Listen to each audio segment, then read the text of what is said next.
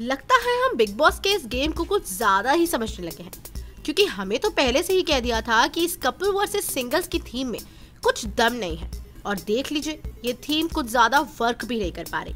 अब पति पत्नी एक साथ हैं तो ज़ाहिर सी बात है, लड़ाई झगड़े, प्यार टकरार तो होना लाजमी है।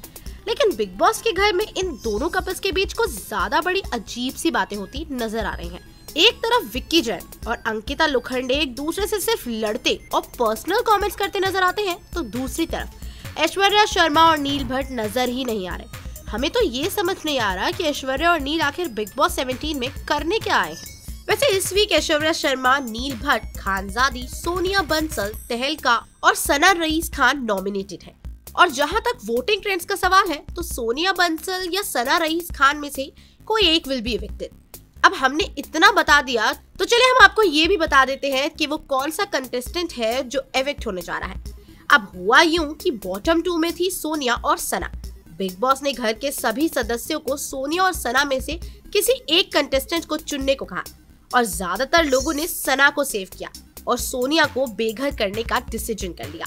सोनिया बंसल बिग बॉस 17 की पहली कंटेस्टेंट है, जो घर से बेघर हो गई है, जहाँ एक तरफ़ सोनिया बिग बॉस 17 के घर को अलविदा कहकर दूसरी तरफ़ नए हाउसमेट्स की एंट्री हो गई है।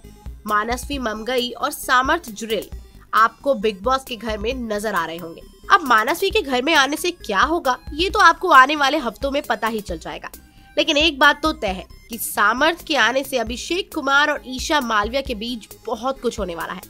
आप सब हर साल बिग बॉस को बहुत क्लोजली फॉलो करते हैं और इस साल भी फॉलो कर रहे होंगे।